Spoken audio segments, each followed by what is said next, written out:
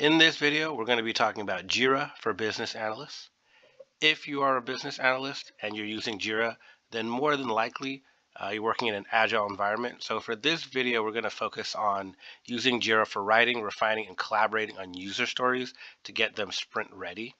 Also, rather than talking about every single feature Jira possibly has, because Jira is not just for business analysts, it's for Scrum Masters, it's for project managers, it's for dev managers, it's for developers, it's for quality assurance analysts. So there's a lot of features and lots of cool things that Jira does, but we're going to focus on how my team does business analysis work effectively in Jira a couple of overarching things um, that kind of set the tone for all the things I'm going to talk about as we go dig into Jira um, is one, our business analyst mission statement. So, as business analysts, our job is really to lead our organization to optimal solutions by analyzing, challenging, communicating, facilitating, and ultimately driving towards clarity across six BA core responsibilities, which are the stakeholders, the context, the need, the solution, the change, and the value.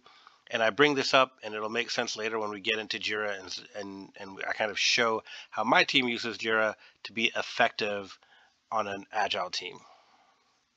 It's also important to understand how Scrum kind of works um, and where we kind of fit as business analysts into the Scrum process.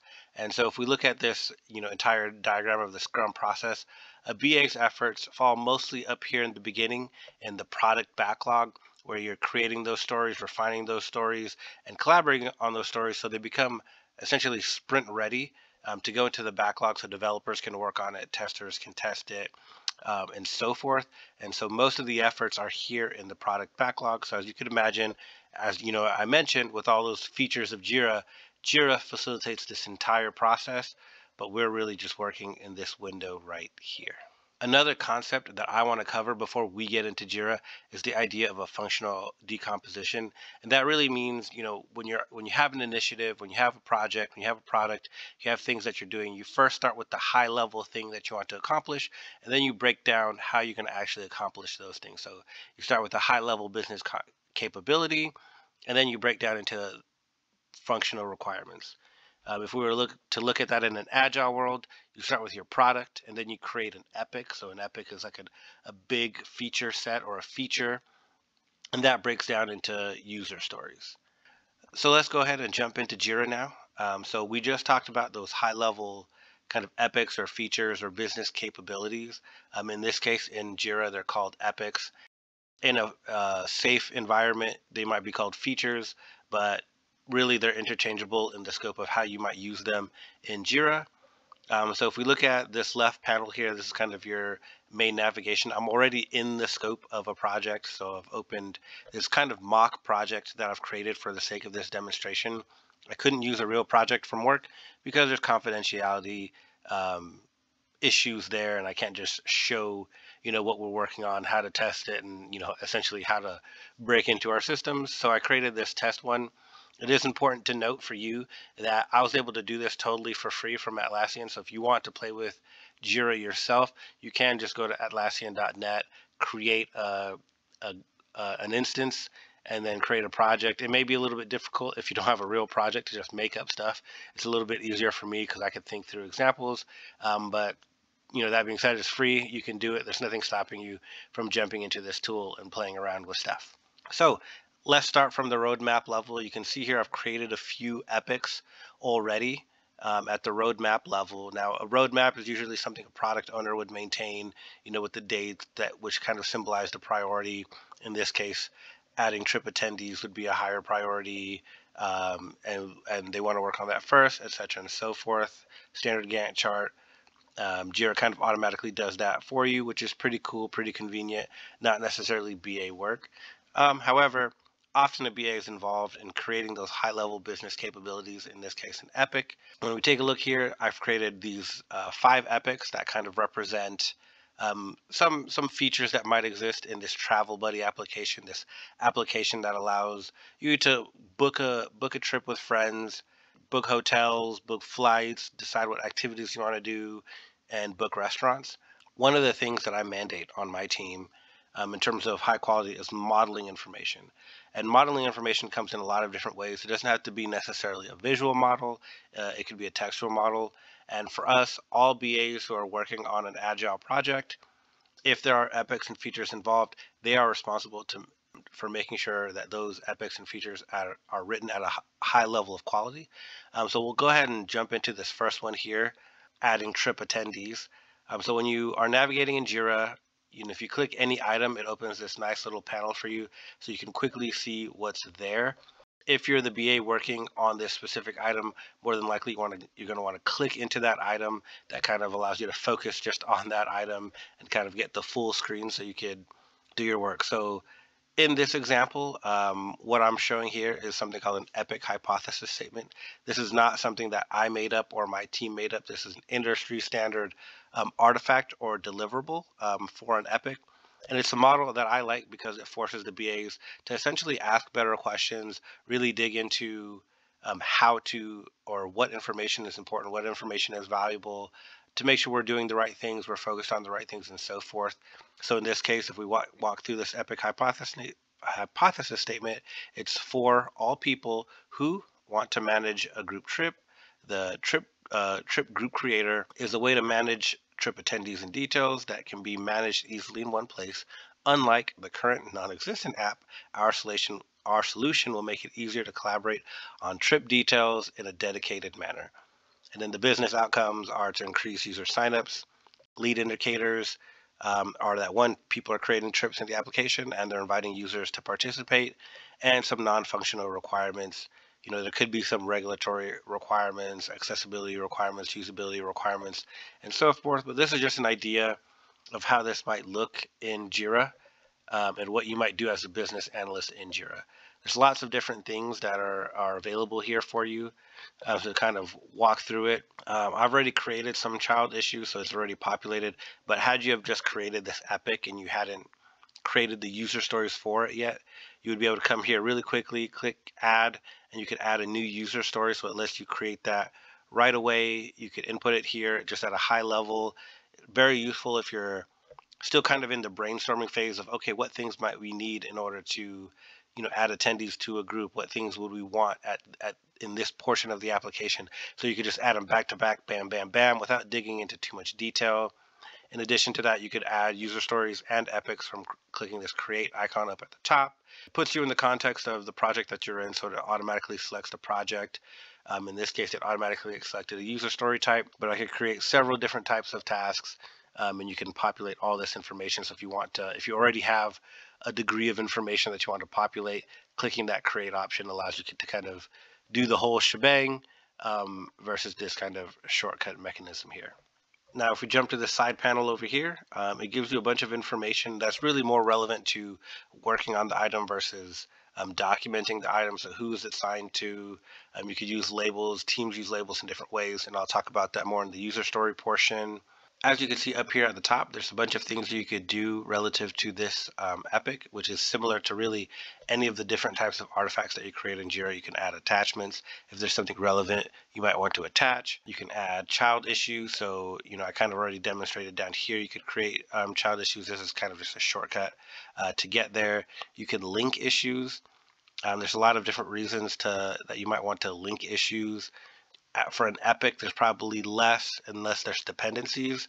Um, and you can see here, there's a bunch of different kind of terminology to link them so you can understand what that linkage means. And it essentially just ties one epic or one other artifact to another. You could also link to a Confluence page. So if your team is using Confluence to to document some information, you could link directly to that page. So if there's something useful there, like a, a diagram or a decision table or something like that, you could link to it right from here. In addition to all that, if we talk about authoring for just a second, it uses your standard um, rich text editor. So, you know, bold, italic, you know, strike through all your, the typical basic rich text editor functionalities. Um, this one allows a little bit of colors. At my organization, colors are disabled because they don't want you going a little too wild and willy-nilly with colors. Um, you can attach um, images, you, files, links. Um, there's emojis. Um, depending on what connections that you have in, at your organization, you might even be able to attach things like uh, prototypes or diagrams from from specific software that integrates directly um, into Jira, you can add a table. So this is a table that I've created here. It's very easy to manipulate a table. Um, you can easily add rows. So if I, oops, if I click this plus sign, I'd be able to add another column. If I clicked here, I'd be able to add another row. I could delete the entire thing. Um, so it's really easy to kind of manipulate information um, in Jira when you're documenting whatever deliverable that you're documenting. So as mentioned, you can create a user story in a, multitude of ways. You can create a user story here. You can come down here and have like a quick version of creating a user story. And once you create those user stories, those user stories end up in the backlog. So this is my backlog. I've already created uh, several user stories just to kind of show what it might look like populated.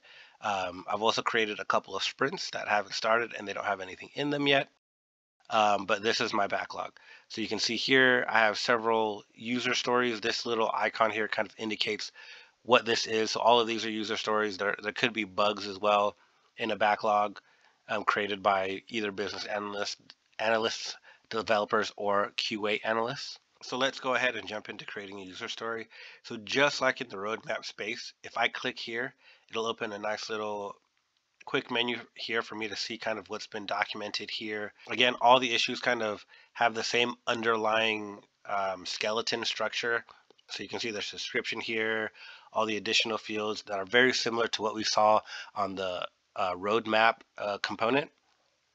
Um, and then very similarly, I can come here, click this, and open it in its own window, kind of full screen so I could focus on it. At my organization, um, we've kind of come up with a, a way to ensure uh, high quality user stories.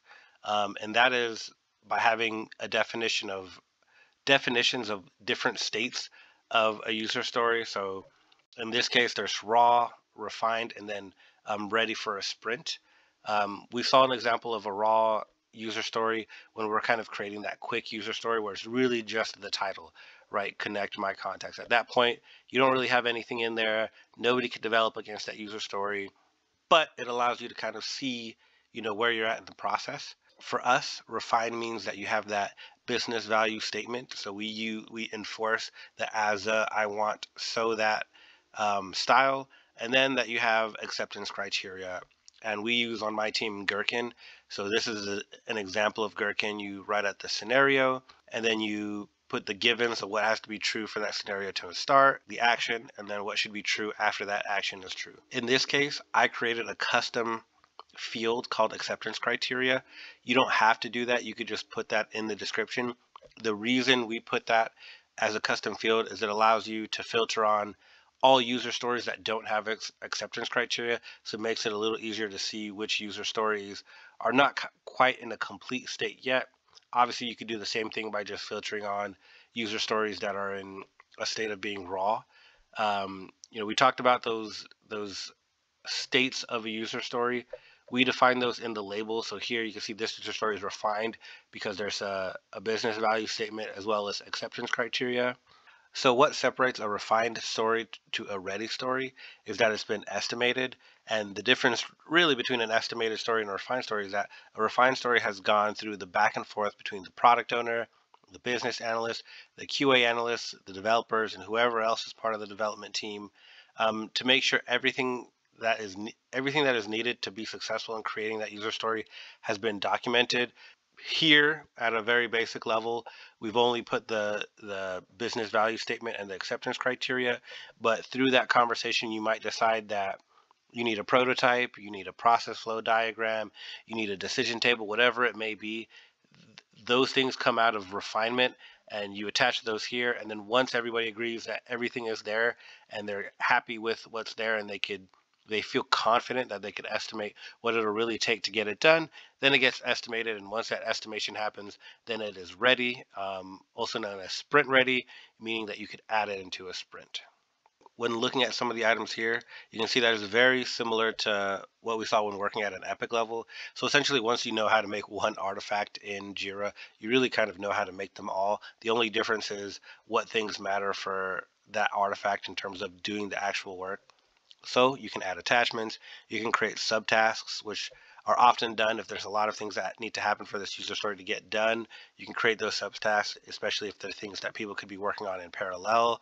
You can link issues. So if this is dependent on an issue or you can't work on an issue or this issue until another issue is done, you can link an issue and again you can link it to a confluence page if there's one available i created a confluence page just so we can kind of see what that might look like so in this case and we're connecting to Google. So I have a page that just has the Google Contacts API documentation to link it here. Maybe that's something that a developer might need to reference in order to get this story done. So if we go back to the backlog, um, you can see um, this story, I left it in refined. So let's go ahead and move this from refined to ready.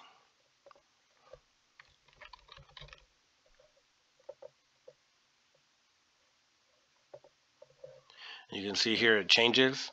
So at this point from a BA perspective, you've kind of done the work. You've ensured that from a um, epic level or a feature level that those they're written at a high quality. You've ensured that from a user story level, all the necessary information that's going to be needed to be successful is there. And really, this is when the Scrum Master gets involved, the developers get involved, the product owner gets involved in terms of prioritizing these items, adding them to a sprint. So here, uh, yeah, confirm. Uh, we know um, that this item is ready to go. The estimate is true. We're confident about it, so we can add it into the sprint for whatever that sprint is ready to get started. Um, so work can begin. Um, sometimes you might also, you know, if a sprint's already in motion, but you want to start planning for the next sprint, you might start adding items into that next sprint as well and these little indicators here are, are, are, a great way, great way to say, hey, these are the things we want in the next sprint, but they're not ready yet. They're not refined yet. So that's that could be a clue for you as the BA that you have some work to do. You need to get these items ready, refined, and estimated before um, this sprint ends, and so we're ready to go with the next sprint.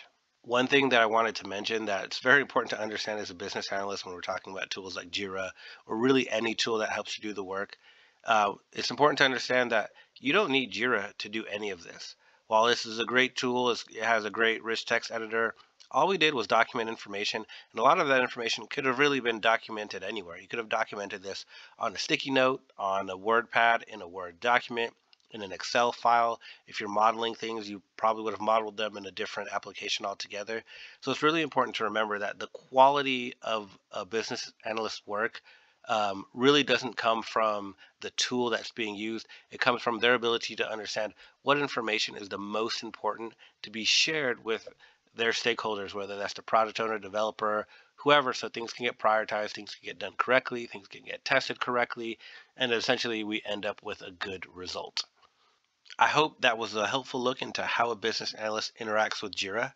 If you have any additional questions, let me know in the comments and I'll either answer you there or create a whole new video to answer your questions. So subscribe to see your questions get answered and thanks for watching.